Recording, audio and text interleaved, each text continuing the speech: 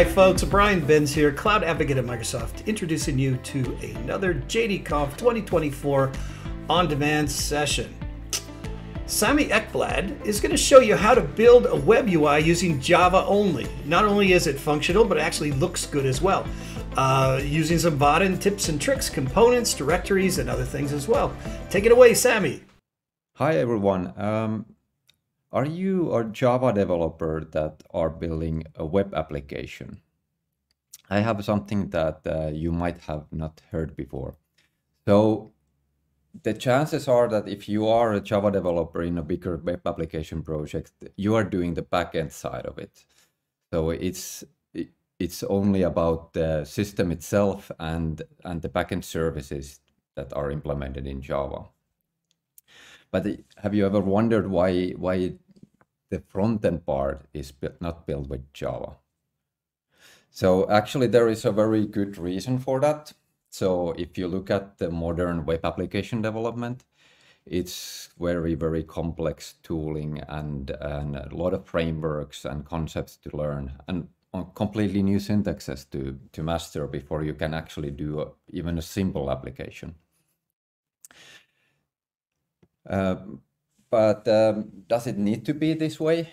So my name is Sami Ekblad. I'm an open source Java developer from Finland, and uh, I wanted to introduce you with Vaadin, uh, which is an open source tool to build web, web applications only in Java. So how would it work? Let's start from the beginning. So here you see a piece of Java code. This is uh, Hello World with, with Vaadin. And if you're a Java developer, you can read this. So it's a single class.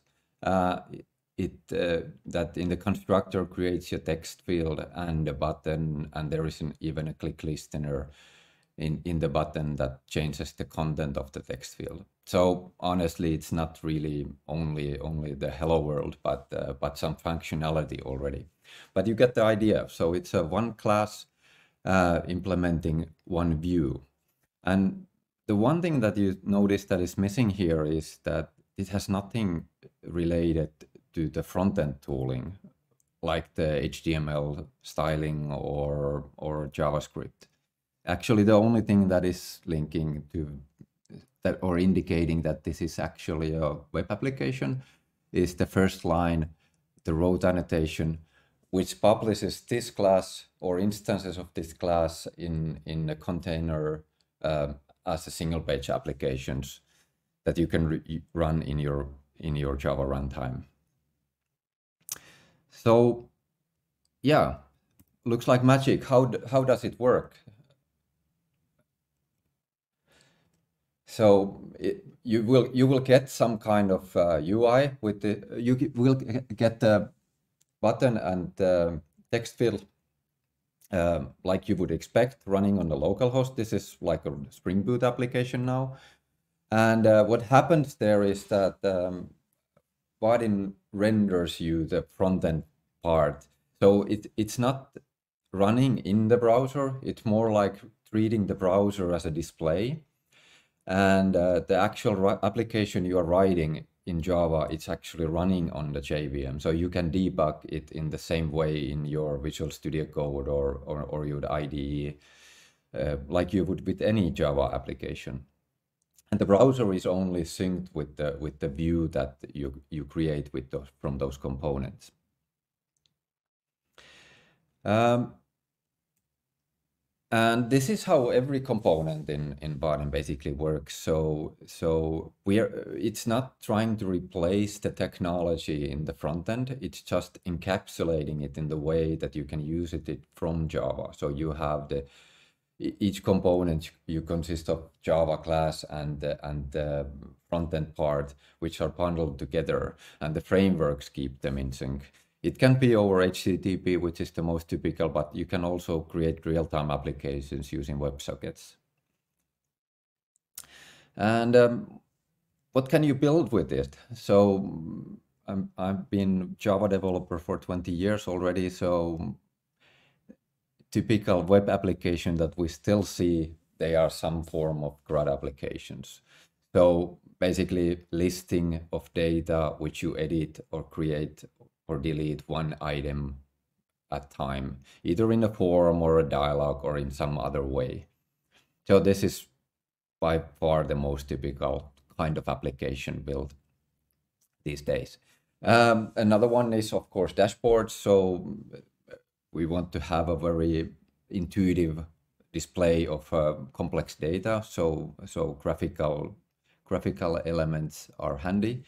And I would say that this is another category of business applications these these days. So Vaadin comes with all the all the widgets and the components you can you, you can use to build these kind of applications. Um, they are tested with the accessibility standards in uh, government accessibility standards. So they they also work with the screen readers and uh, you can use them in any any browser whether it's a mobile browser or a desktop browser and you can use it to build a pwa or run the application in in the in the azure cloud or or or remotely um, we didn't invent all the components i um, i think that this is an ongoing ongoing work in the world. Uh, so if you look at the basic components, for example, they might even predate internet. So so text fields and buttons they were they were here already in the desktop applications. But um, but in open source communities, creating and publishing new components uh, constantly.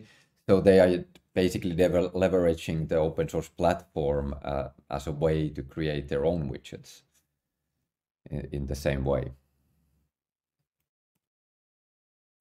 So, uh, yes, uh, I know it sounds interesting and you want to get started already. Uh, so how would you do that? So um, basically, uh, in essential, Vaadin is very simple. It's single dependency in your Vaadin, uh, in your in your Java project, uh, which includes the runtime and the component.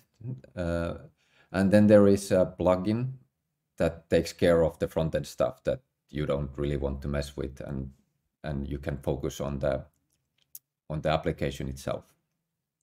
So these two things in, in the POM XML, or if you're using Gradle, you can also use them as a Gradle dependencies. Uh, but if you are not willing to try it out in a in a existing project yet, uh, there is a handier way. Head, head to startvaadin.com and you can create your new, new projects there. So it has a lot of examples and even there is a small drag and drop editor where you can design your own UI and then download the project uh, on your local machine and, and try it out locally first. Um, and yes, this actual website is implemented with Vaadin, so you get an idea also what kind of applications you can build yourself. Right. Um, um, because we are living in the era of AI, I also asked the AI that what's what's the what what it's uh, thinking about this tool, and it um, impersonating as James here very nicely summarized what I think that is one of the Vaadin's biggest benefits.